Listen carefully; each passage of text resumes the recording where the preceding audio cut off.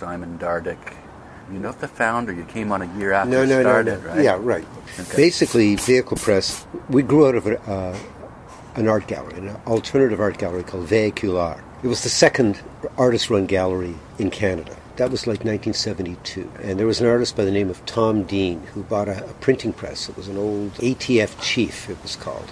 And it had a ba- it was a bastard size. It was 14 by 18, which is kind of a weird size. Apparently, the story goes that that, that machine was used to, to print maps at the at the front because it was like it could take a beating. He bought this press and used it to bring out a magazine called Arts magazine, which was quite a wonderful ephemeral magazine, art magazine that came out in, in the 70s. And the, the apocryphal story is that for the second edition, the printer caught his hand caught in it or whatever, and it just everything everything ceased about the magazine. I think the magazine ceased too, but the press just sat there at Vehicule Art Gallery, which was, and I found this out only in the 1980s when we published a book on the story of jazz in Montreal.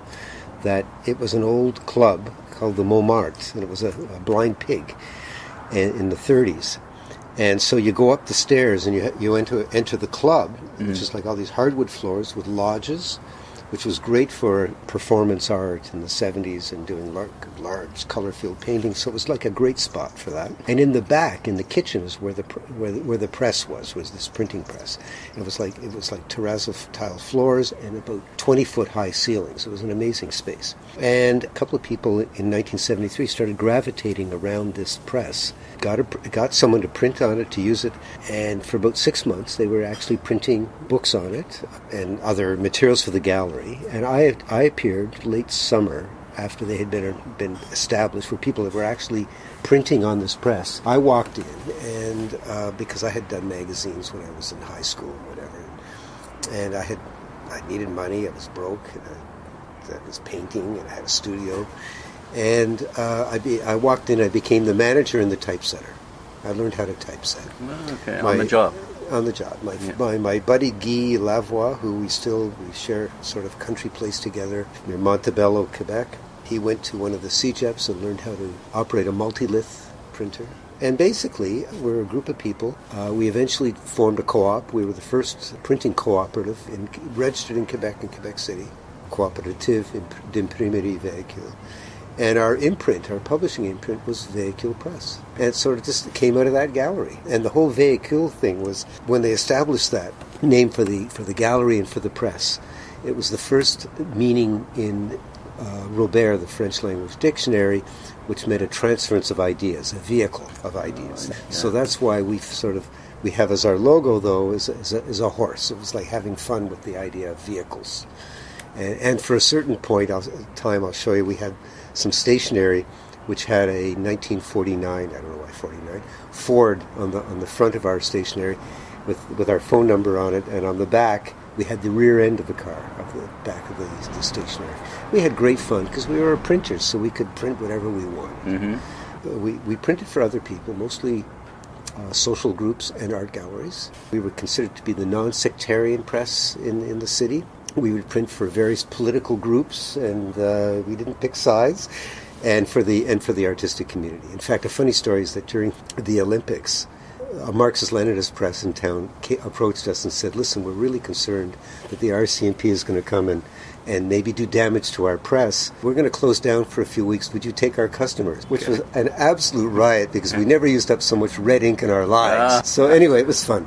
And so scythes and and, and everything, Yeah, whatever you yeah, know. yeah. So we did, we did we did printing for the community, and we printed uh, we did our, our literary books. At the beginning, we did artist uh, art books or art I should say catalog Artist no artist cre- yeah artist created books and catalogs for like the Saidye Bronfman Center, which at that time had an art gallery, and, and we did our own books. And in many cases, uh, some of the odd sizes were the, were, the result of printing on the offcuts, the paper left Yeah, over yeah, from the books yeah. uh, that we printed. So it was it was exciting, and you know we moved from one acronym to another. We were either on UIC or or, or uh, CYC or you know name the acronym wherever we could get some money. That's what we did you know, to survive. What's the first book that uh, officially uh, that uh, Vehicule published? The first Perfect Bound book was probably a book called Honey by Claudia Lapp. What I have downstairs is I have a little, just a little pile that's sort of a chronology. And it was a book called Honey. And I remember it was sort of our, our crunchy granola period. and we we actually went to a printer of honey labels, honey can labels, and had them because they had uh, beautiful designs, bees and flowers and everything, and had them print her name, Honey, Claudia Lapp. That was probably one of the early ones. And I'll show you a couple of the others too, but there's one called Vegetables, poems by Ken Norris, and drawings by Jill Smith, drawings of vegetables, and they're poems about vegetables. We printed on craft paper. There was a, actually a, a sort of a design contest at that in, in I think it was 74, 75 and uh, they gave us honorable mention for all, I think the crunchy granoli granoliness of it because we approached W.H. Perron uh, nursery who had seeds under his own name and he packaged seeds for us with fewer seeds so that we could affix the seeds on the cover of the book. I mean, oh, this is great. the ultimate in, in, in sort of what we thought then was ultimate great ideas. But it's a cute little book. You know. You're really appealing to the uh, the collector in me. Oh, is that right? Really, Don't- because I don't know where you're going to find. Co- I have just like one or two copies. Right, right. But that, you know, that, that's that's the challenge, isn't it? Yeah. Um, so speaking of, Yeah. of that, uh, perhaps we could l- talk about uh, some of those books that are the funkiest, or the ones that you've had the most fun doing, or the ones that you're proudest of having. Well, you know what I should do? We should go downstairs so I can Okay. show them to you. Sure. Because it's a little. Uh, first of all, it's a great device. I know what I'm talking about. Yes, sure. But also, also you can just see the books that we're talking about. Okay. Okay. So why don't we go? Why Yeah, don't we let's go do that. downstairs? You want to Great. close your devices here? well, I'll just carry them with me. Here we go. Let me take this down. Take your glass too, if you want. Yeah, I'll, I'll, you're, you're going to fill these glasses up again, right? Indeed. Great. And again, and again, and again. It's delicious wine. Yeah, it's quite wonderful. Yeah. Nancy, we're going to go downstairs. Um, we, we, we, we're, we're doing some renovations here. So. Now, do you have a hand free? Uh, no, I do. Okay, because no, why I'm doing. Oh, to hang on? They're crooked stairs. Oh, okay. I don't want you to fall. Sure. It's a bit dark. And there's baskets everywhere. Okay. This is sort of the industrial part of the, house. Right. Our marketing person works out here. Okay. Great. That's um, Maya. Maya. Yeah, yeah. And this is. I mean, it's, it's great. I'll tell you, it's great working out of the house. Oh, look at that lovely flower bed there in front of your window. Yeah. It's great. Here, why don't you sit down here? Yeah, we should probably turn that music I would, uh, down. down to the- There we go. How many books have you produced uh, all, all told Probably so far? about 375. We were also distributors Oh, I of, like uh, that. of literary presses. What I'm looking at is uh, publications, 1976, Vehicule Press. Just a, a listing of uh, all sorts of different publications. So what you have here, these are all the copies of books, single copies of books we've published over the years, missing a few. So you got your prize winners at the top, eh, the GGs. Yeah, some of them. Yeah, and you know, here's the more recent ones. Uh, Okay, so, so, the wonderful thing about being printers, we could take the time yeah, to um, just have fun, you know. Yeah. And it reflects. It's an interesting transition from, or, or indicating our, our commitment to doing artist-created books too. Because you have. I'm going to show you one because I know you're interested in, in unusual books. Mm-hmm. Here's a book. I mean, this is like really exper- experimental. It's called 15 Unedited Poems by Mario Diacono, 1974, Vehicule. And, and you can see we had fun because we could, you know, this is on our own time. It's die cut, not just on the cover, but going through to the, uh, title the, pages. the half title page, and then the poems themselves are, are really are really grids. This is poem number one, 15 by 30 words. Let's fill in the blanks. This is like you know we were we were connected to an art gallery. We came across really interesting people, and Mario Diacono was a very interesting guy because he in Italy he had been the secret the private secretary to the uh, the famous uh, Italian poet Giuseppe Ungaretti. And anyway, I'll tell you, when we arrived at our gallery at, at the gallery press in the mornings, we never knew what we were going to see. It could be feces under glass filling the room. It could be Joseph Beuys. I mean, it could be it could be people who are doing part of the Fluxus movement. There were so many tendencies going through there. It was a very exciting place to be. We were- Vibrant and, uh, vibrant, creative. Yeah. So that is like an unusual book. So you're wedding the uh, the image with the word. Yeah, Yeah. yeah, and pushing the limits of what is a book. Yeah, You know, what is this? yeah. Someone will look at this and what is this? These are just like grids. Grids. Poem number 10 is 6 by 12 words, and there's no words. It's just No. a grid. And it's a numbered copy Yep, Yeah. this is number 53 out of a total out of run of 199. And this is the title of this is 15 unedited poems. great. Okay. Maybe if they were edited, there would be a difference. right. anyway, I thought enjoy Definitely, sort of, yeah. uh, Typically, what we're doing in these in these conversations is is to get a, a feel for the history of the press itself, but then very much to encourage uh, listeners to get out and try and acquire these books in used bookstores. in some cases, as you know, it, it can be a real quest. The greater the thrill, you know, the harder the Oh, absolutely. You know, the Abso- hunt. Absolutely. Oh, here we are. So this is vegetables Okay. that has sort of in this Art Deco type in caps, just vegetables on the cover, and then you have the W.H. Perron seed packet, very flat, as I mentioned to you. They made them custom for us. yeah glued That's- onto it. That's glued on. It says eggplant, I love it. and it's vegetables. Poems by Ken Norris, drawings by Jill Smith, and they're really beautiful, beautiful drawings. This is I think kohlrabi, and in fact, the poet wrote it for Jill. That's the Starting title it of the poem. Kohlrabi. I know nothing of kohlrabi. Its design and properties exist beyond the periphery of my vision. Your drawing of it, etc., etc. Yeah. But what's great is that we used to go to paper converters. Uh, I don't know What's if you, that? A paper converter was paper companies that existed on the crumbs of the big companies. Mm. And what they would have is they would have, particularly for smaller printers, they would have ends of runs of paper. And they'd have sometimes paper made for a special edition. But, you know, once the edition's over, the, the, what are they going to do with this particular paper? It's cut in a, in a odd Exactly, size. precisely. Yeah. So the drawings are printed on this, this, this sort of laid paper, as Oh, you yeah. can see, Yeah. which was used for an edition. We don't know where, but this is what the converter, the guy that they're called paper converters, uh, for an edition of Shakespeare somewhere. Somewhere. so, So it's got pretty good credentials. yeah, exactly. So the Yeah. illustrations are on that delightful. paper. Yeah, it's really neat. That, that's really such fun. a lovely little book. Yeah, it's really. And what year is that? This was 1974, I believe, and then we reprinted it in 75. Seed packet is Compliments W.H. Perron and Company. First printing March 75. This is the second printing January 1976. And the title again is Vegetables. Vegetables. And period. it's by. Poems by Ken Norris, drawings by, by Jill Smith. And I just saw a bit of our promotional, Oh, isn't that great? There's Yeah. a promo- which is lovely because these, this stuff is so ephemeral. Look at this. Margaret Atwood's talking about vegetables. Yep, yep, yep. Neat, eh? So many thanks for beautiful vegetables. It was delicious. Margaret Atwood. Funny, eh? and Alden Nowlan. I liked it very much indeed. So much, in fact, that I show it to people who visit me and say, hey, look at this. It's good.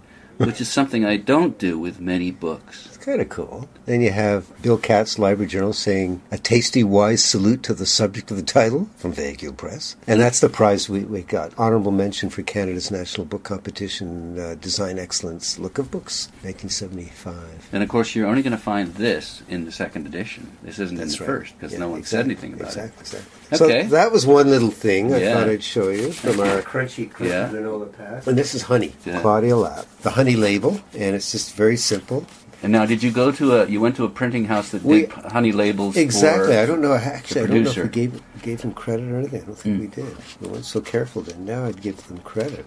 Yeah, we went to a creator, a printer of labels for honey cans, Yeah. because they're quite beautiful. And uh, he printed us labels just for this edition with the author's name and the title of the book, Honey by Claudia Lapp. You've got kind of a rice paper in the front. Yeah, it's a, it's a So it's laid as well. Yeah, it's a Yeah. little, yeah. So we had fun doing You this stuff. yeah, yeah. know? This one is uh, 73, and this is a revised edition 77. So Coach House started up in 65. Oh, that's right. They, yeah. So they they were uh, they were about a decade ahead Yeah. of uh, or seven or eight years anyway. Yeah. Uh, Them and another press called Intermedia Press, which also was publi- were publishers and printers, and then died away. Of course, you had Tim Inkster. Too. Tim started in 75, I think it is. Yeah.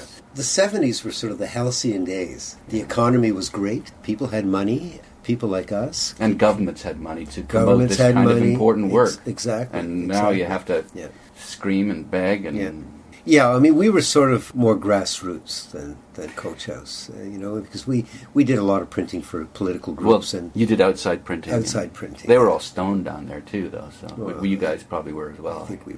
This is why I need lists to look at. Yes, so, yes, that's what your As an memory- aid memoir. Well, anyway, we had great fun with this. Uh, Yeah. The epigraph here is advice to poets: Don't leave the bed too soon. You can't come with words. It was those kind of days, you see. Yeah. That gives you an idea. Now this is this is great fun. Okay. There was a fellow called Opal L. Nations, a Californian, I believe, who came to Canada and worked his way across the country. Spent some time in Toronto. I think had some books published by Coach House, books published by us. Stayed here for a couple of years and then he left and went back to I think San Francisco, whatever. But he had a very fecund mind. Okay. He did really wonderful sort of cutout stuff from books. And so here's like a, a soft cover book with a with a dust jacket French uh, gate. Yep. Yeah. And yep. this is called. Inter, uh, it's called it's called Intersleep, the box in which he keeps his voice. we just again we just had great fun doing this. Opal was really born in Britain in the in I think 1941.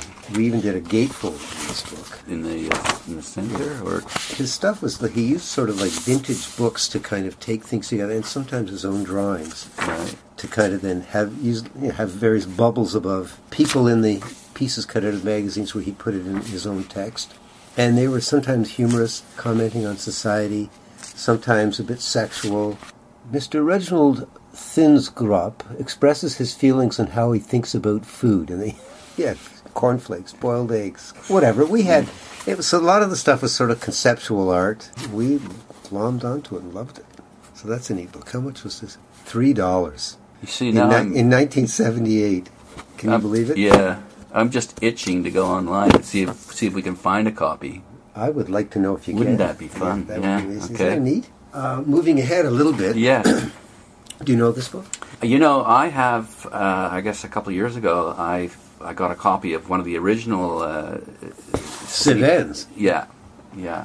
Uh, so I've got that in my collection. So, what can you tell us about it? Well, you know, it was it was a, a magazine that it was a literary magazine, Montreal Literary Magazine, uh, edited by Aileen Collins, who was part of a group of the literati of the of the period in the fifties. She published really it was only published for for about two years, between fifty three to nineteen fifty five. But what was wonderful about it is that it reflected the scene of Montreal at Yeah. the time. So you had Leonard Cohen, Eli Mandel, Louis Dudek. Well, Robert Creeley wasn't part of the scene, but contributed to it. Gives you an idea of what was going on then. Phyllis Webb, Ray Souster, Irving Layton, uh, Avi Boxer, Cid Corman, D.G. Jones. I mean, it was like quite exciting. So Yeah. we basically took it was mimeographed, as you know, if you Yes, have a copy. I do, And the yeah. cover was silk screen. Digest size. Yeah. So we approached Aileen, who eventually ended up living with Louis Dudek. This cover photograph has got to be, to me, the most wonderful photograph of all,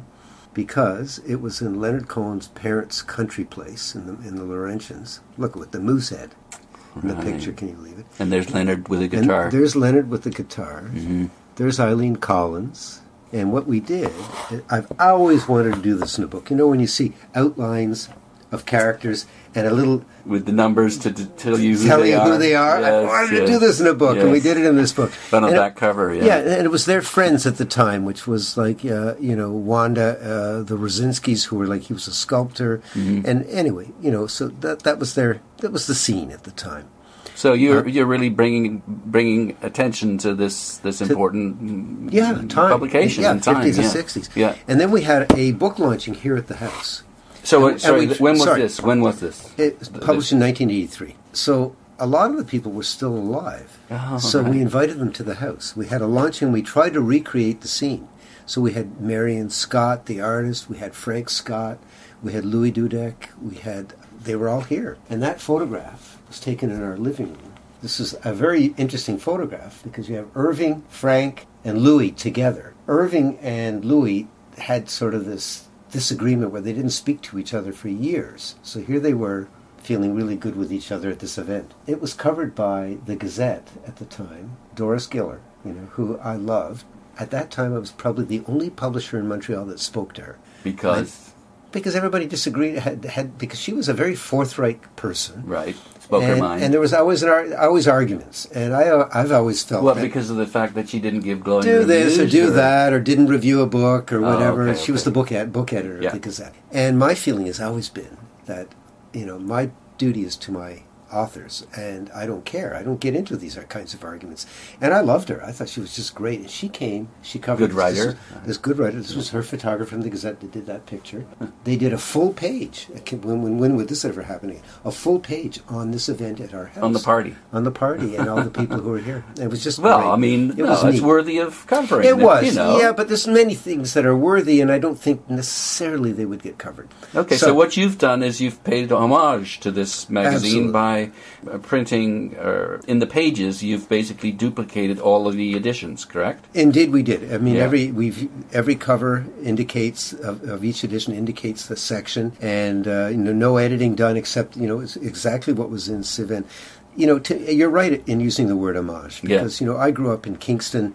I had all my literary heroes. When I came to Montreal and and you know became a publisher, it's one of the things that I wanted to do. I wanted to do books of current things that were happening, Yeah. but I also wanted to publish uh, our history, and I've, Yeah. I've tried to do that as much as I uh, as much as I could. Well, it's you know it's funny. That's what motivates me to do these interviews. Yeah. is I I really want to bring attention. Document it. Well, Yeah. document, but just bring attention to people who've done wonderful things, and that that more people should know about them. Yeah. You know, I think that's uh, so, so Yeah. that seems to Yeah. be a motive, motive of yours as well. Yeah, no, exactly. So I was so happy to do this book. Uh, look, I came at a time where I was very lucky, where I could still meet these people. So I, mean, I can And remember publish them, I guess. Did you or not? I published Louis, but I can remember one day Louis lived in, in Louis and Aileen lived in Westmount on Ingleside Avenue, and I remember going there. We used to hang out there a lot. I remember there, and I think I think the poet Endre Farkas was there too, and I can't remember who else. But we happened to be there when Frank Scott was there with, with Louis. We were in their dining room. One end of the table was Louis, the other end of the table was Frank. And it was like watching intellectual ping pong. We were on the sides, and us young guys, you know, Frank would say something, Louis, I read in the Fortnight Review, uh, blah, blah, blah, blah, blah, blah. And I think, and then Louis would say, Frank. And we'd be going back, our heads going back and forth, swiveling back and forth. Mm. It was quite exciting. It was mm-hmm, quite a mm-hmm. thrill just to see this kind of Repartee these and- two intellectual giants, really. You know, and I think Louis, to a certain extent, hasn't received his due because I've he heard was that not before. He was selfless, whereas Irving was about- about- self-aggrandizing, Exactly. and Louis was, and Louis was not. No, he gave a lot of opportunities to others, and didn't he did. He, yeah. I mean, his essential series, the series he had at McGill, where he published, like we published George Ellenbogen. His first book was published, you know, I think after Leonard Cohen's, and uh, in, in that in that, that Series. journal series Yeah, that, yeah. that Louis had. But and Louis had literary magazines, little magazines, and he had his press two DC, DC books. Louis also, at a time when regular newspapers used to review books and review poetry, the Montreal Star used to review poetry. Louis was a regular book columnist, and Louis never pulled punches. He was never personal, but he would say this was good writing or bad Right. writing. Yeah. And I think what happened is a lot of people, his books, when we published them, got merciless reviews. I mean, they were like Payback. They were horrible, just horrible. Right. It hurt him greatly. I Did mean, he never won a prize. He never, you know, he Yeah. never, it was just uh, uh, it was sad.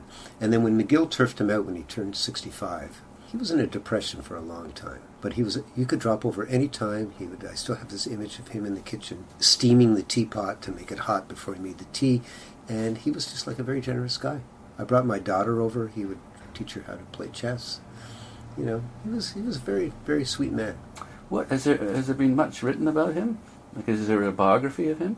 I don't think so. I don't quite frankly. I don't know how many copies it would sell. Sounds to me though like that's what you are able to do is you want to publish something that you think has merit, even if it's not Mm-hmm. Yeah. marketable. because his role was incredible. He and Layton and Ray Souster were Contact Press. Yeah. you know, look, look, look what Contact Press published.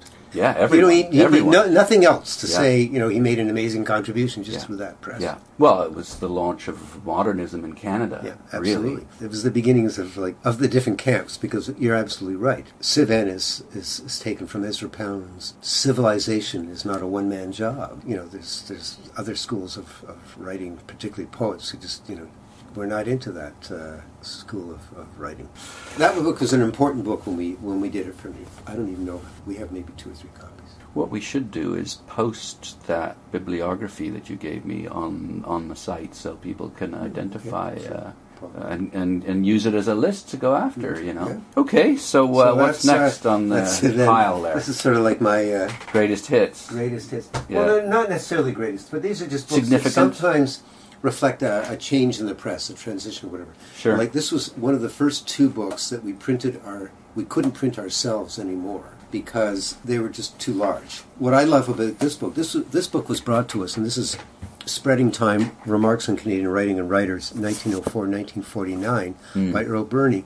This was brought to us by Ken Norris, who was an, an editor at the press at the time. And Earle delivered us a pile, basically, of radio talks, reviews, essays, all in chronological order. But you know, Ken and I looked at this and we said, "This is interesting in a certain sort of historical way, but not a very interesting book. Kind of dry and boring." So I remember asking Earle, "Earle, could you write an introduction to the book?" You know, giving us because it's chronological. It starts with this. I think the first review, or let's see, it starts in 19. Oh no, no, no, no, no. Oh, yeah, yeah, unpublished essay, 1926, the half Canadian poet Charles G.D. Roberts. So we said, Earle, could you write us an introduction? Well, it turned out to be this pre- what we call a preface, and it's 1904 to 1926, spring plowing, he calls it, and it mm-hmm. goes back to him being born on in the homestead, basically on the prairies, and so then he just matched it all together, everything he filled in. So that went from What do you mean he mashed it all well, together? basically, the first piece in the book was 1926. So he took us, brought us from 1904 to 1926. Oh, okay, yeah. His next review was 1937 that we chose called Moon Whist in Canadian Poesy. And so we said, That's quite a that's quite a leap, isn't it? What, wonder what he did for those ten yeah, years. Or, yeah, or, yeah, Or- or we didn't have the material No, or whatever. okay. So then he did As I Remember from 1926 to 1936. Oh, so he's This- interspersing it This with, uh, ended up being his only memoir. He never wrote a memoir. Ah. So to me, it's we just did something almost accidentally.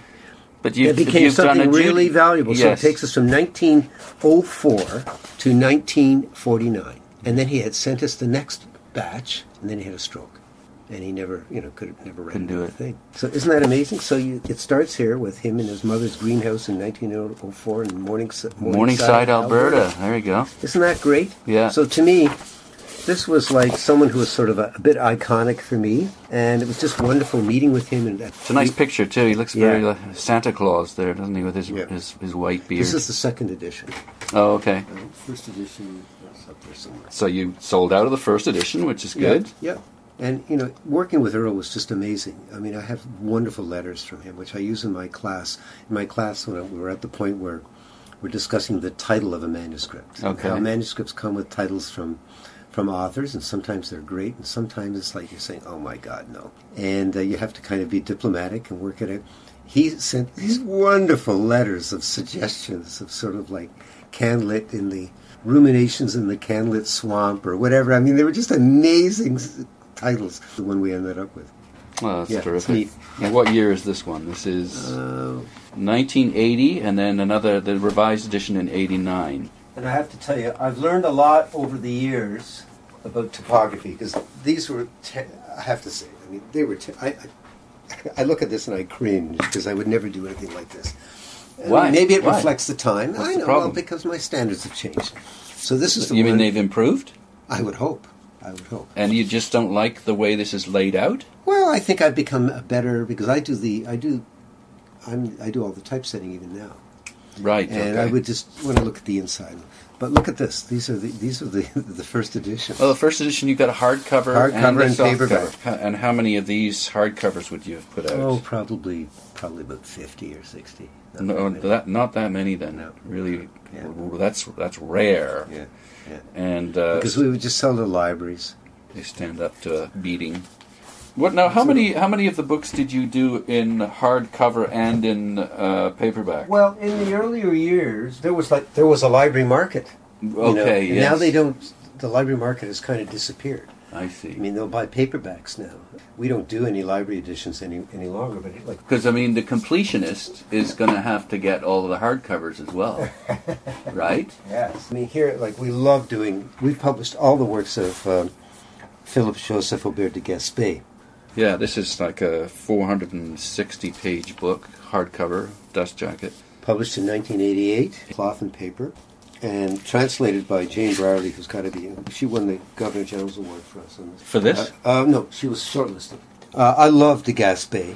Why? Look at look at his lifespan, 1786 to 1871. Yeah, it just covers an, an incredible period in Canadian history, and he was a great storyteller.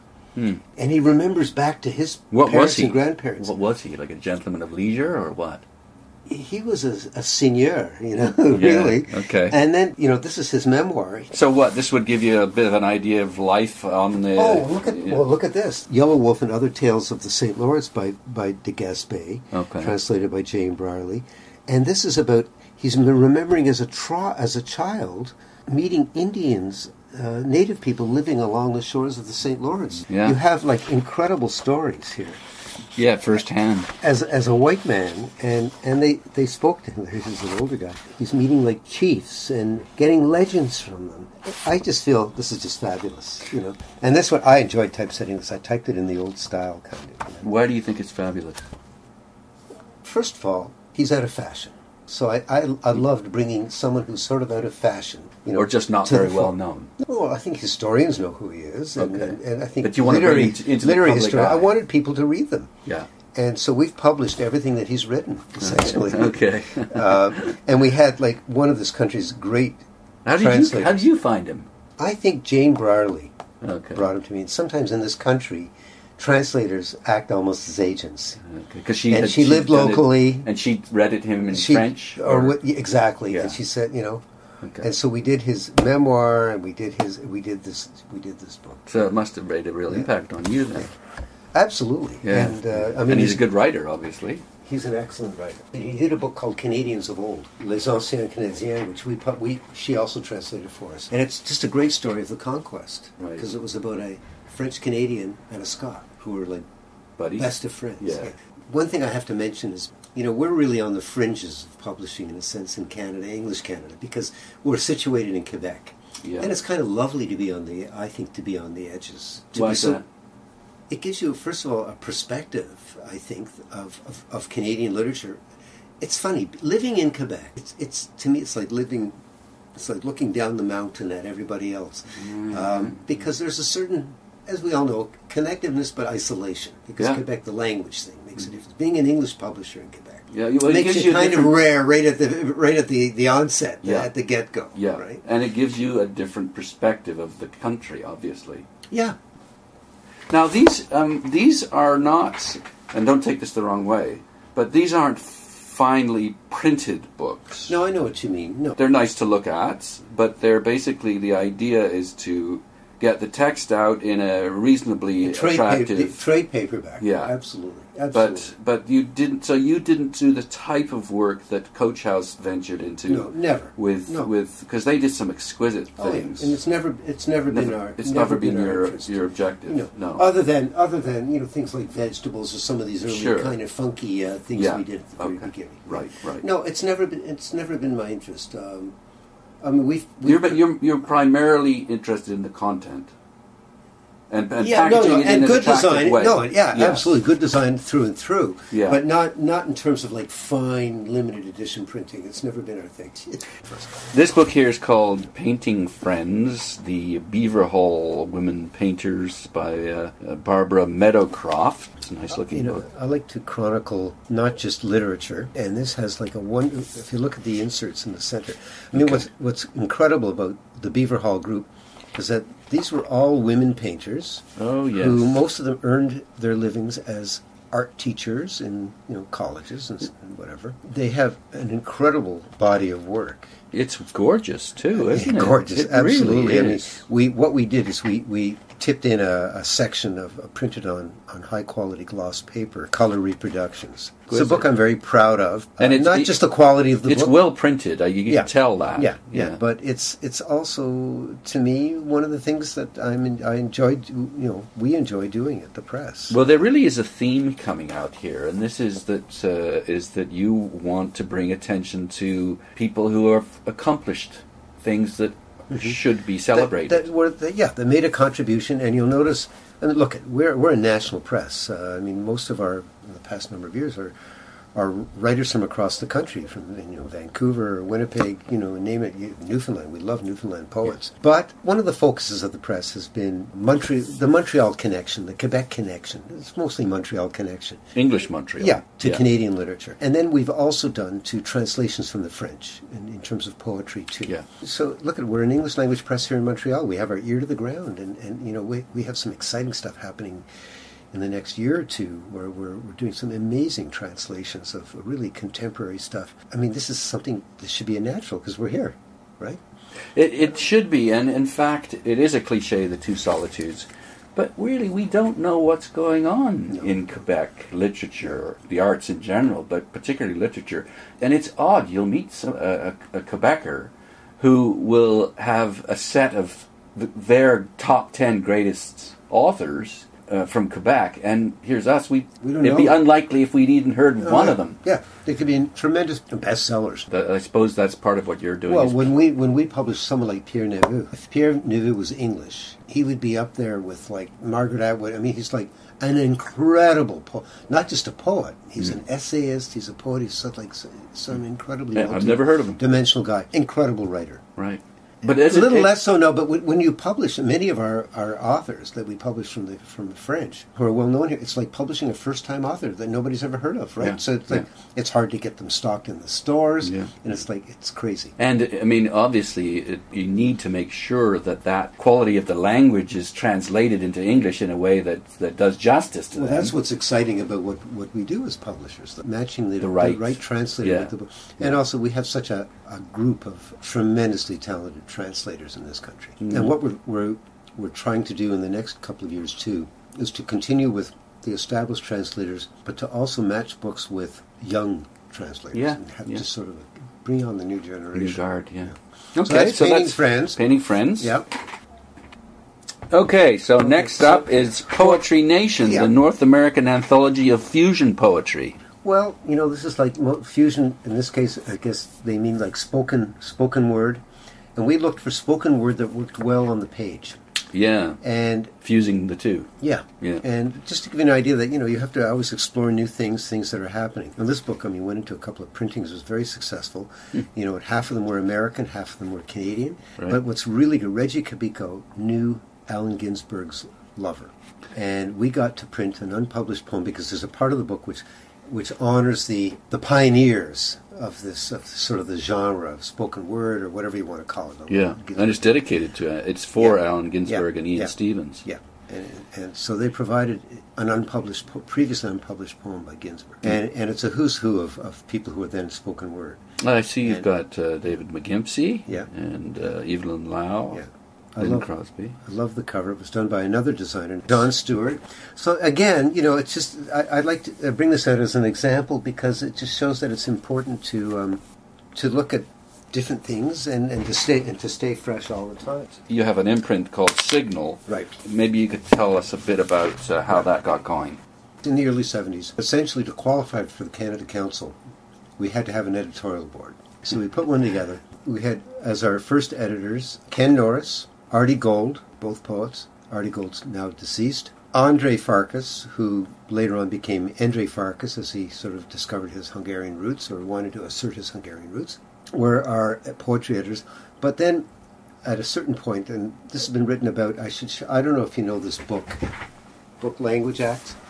I've seen it, yeah. Yeah. Yeah. Anyway, in Language Todd Acts, Swift, edited by Todd Swift and Jason Camlot. there's some history in there. You'll, you'll find Andre writes it from his point of view, History of what? history of, of, of, of literary things in, in English language literary activity in, in Montreal and in Quebec. He gives his rendition of sort of his history at Vehicule Press. Just from the perspective of someone who wants to learn about the press. This that- book would be would be good. Would be good, okay. Uh, so I'm very pleased to publish that book too. It was a very important book. Andre was approached by the editors, and, and Andre basically writes. I think he writes about Simon's "fuck you" letter. I think is how he refers to it. But basically, back in the 70s, we wanted to do more than just poetry, and we suggested at one point that Ken stay on, Ken Norris stay on, and that that Andre and, and, and Artie not. Hmm. And Ken wouldn't because out of solidarity with his friends.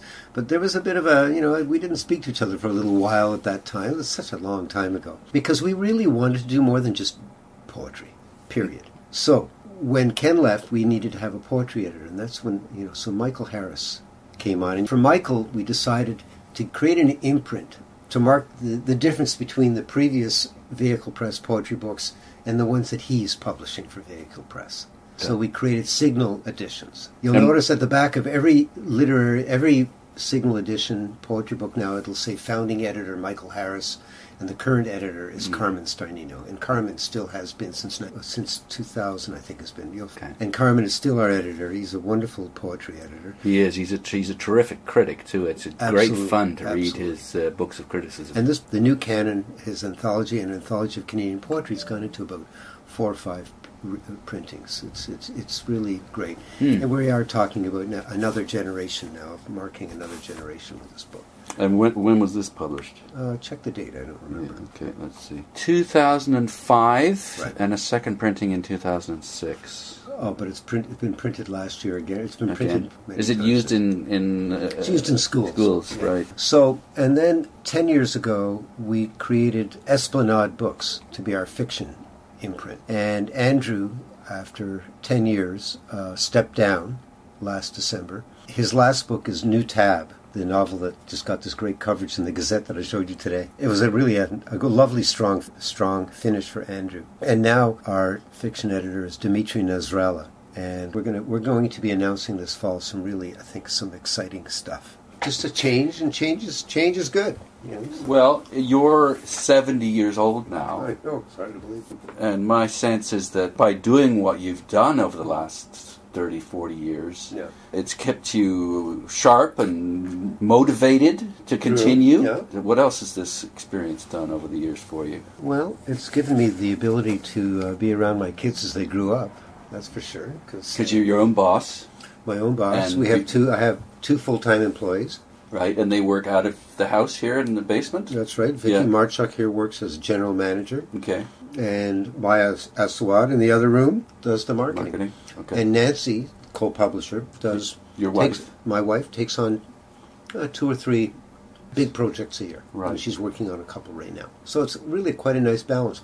And also, Nancy being an archivist has definitely influenced already the interest I have in terms of historical stuff. We've published two of her books. in the field of, of what, archives? The scholarly practice of it? Or? No, no, no, no. No? Nancy's a specialist in nightlife in Montreal. Oh, wonderful. So she did Stepping Out the Golden Age of Montreal Nightclubs, ah, good which goes back into the 20s, 30s, right up through the 50s and the 60s. I love it. And a, a very showing- interesting combination of how we all. Here we have the front and back of the menu at Club Deauville at Chez Maurice, 1937. Right. And I think actually the Montmartre is in there, and that is where Vehicule Press Started out. started out. So you'll see great? a great picture of the Montmartre, great picture of the showgirl. All the stuff is from the Concordia University archives.